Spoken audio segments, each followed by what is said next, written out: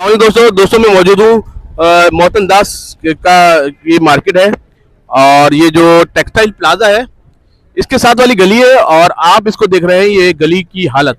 और ये गली की हालत जो है बहुत ही ज़्यादा सीवरेज के पानी की वजह से अबतर हुई हुई है। लोग जो है बहुत ज़्यादा परेशान हैं इसकी वजह से। इसके साथ इसके, इसके ये एक फ़ूड स्ट्रीट भी है जहाँ लोग यहाँ दोपहर का खाना खाते हैं यहाँ बड़ी इसके करीब में जो है मल्टीनेशनल कंपनीज़ के दफ्तर हैं बैंक्स हैं और मार्केट है। उसके जो मुलाजमिन है, दोपहर के टाइम जो यहाँ खाना वगैरह खाना आते हैं। लेकिन यहाँ जो रोड की हालत है, वो आपको नज़र आ रही है। बिल्कुल ये जो है, पानी से भरा हुआ एक रोड जो बिल्कुल ही अब इसकी हालत बहुत खतरनाक हो चुकी है।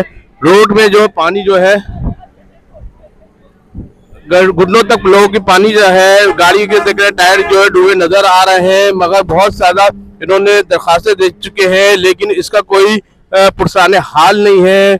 लोग किस तरह खाना खाएँ, ये देखें सीवरेज के साथ ही ये पूरा बिल्कुल साथ ही इसके पथारे लगे हैं, जो लोग दोपहर का यहाँ खाना खाते हैं, लेकिन इसको कोई देखने वाला नहीं है, कोई सुनने वाला नहीं है इस रोड की हालत को। तकरीबन दो महीने से जायद हो गए इस रोड की हालत को। और मैं कोशिश करूँगा लोग से बात करूँ कि इस रोड के हवाले से क्या कहना चाहेंगे रोज़ाना यहाँ खाना खाने आते हैं और यहाँ आना इतना मुश्किल है। बारिश तो कब की आगे चले गई लेकिन ये पानी नहीं गया। कराची के इतने बुरे हालात है ना, बंदा गाड़ी ना चला सकता है, ना पार्क कर सकता है।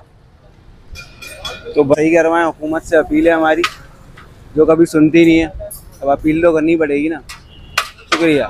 ये आपको देख रहे हैं, बिल्कुल ही ज़बरदस्त किस्म की दाल वगैरह, चने होते हैं, फ्राई करके देते हैं, लेकिन रोड की हालत जो है, इनके जो है घाक भी यहाँ आपको कम आने लगे हैं इस वजह से कि यहाँ जो है, बदबू सी भी फैली हुई है।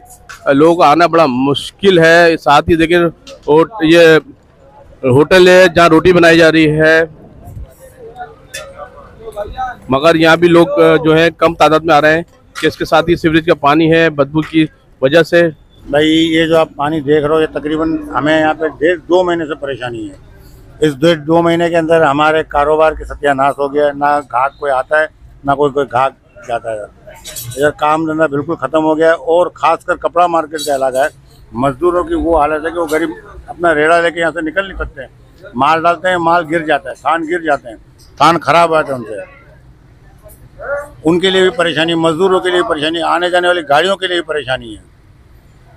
तो आला काम से भाई हम गुजारिश करते हैं कि हमारे इलाके की इस सेवरेज के मसले को हल कराएँ।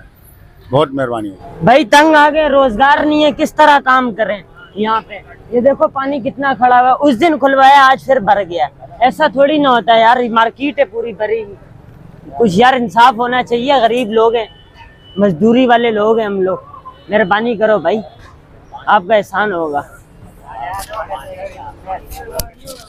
लोग देख रहे हैं, ये फरियाद कर रहे हैं कि इस गली की हालत को दुरुस्त किया जाए, लेकिन जो यहाँ के इदारे हैं, जो जो इनकी ड्यूटी है, वो उस पर कार्बन नहीं हो पा रहे हैं, बड़े बुरे हालात हैं। हम आपसे इजाज़त चाहते हैं, अगली वीडियो के लिए हमें जात दीजिए। हमारे साथ रहिएगा।